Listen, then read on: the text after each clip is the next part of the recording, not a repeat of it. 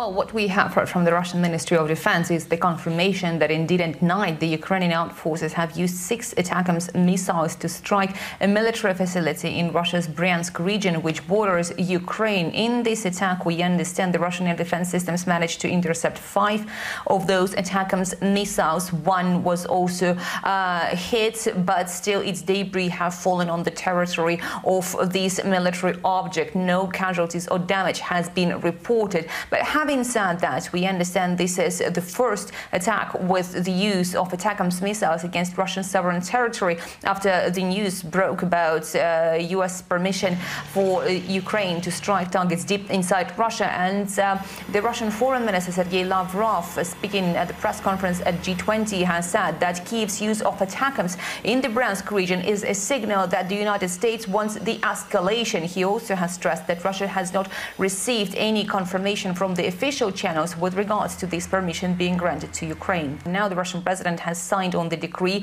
which provides for the revision of the nuclear doctrine. So against the version of 2020, what stands out is the very fact that an attack against Russia by a non-nuclear state with the support of a nuclear state will be regarded as a joint attack. Also, Moscow says it reserves the right to consider a nuclear response to a conventional weapons attack that is threatening Russian sovereignty.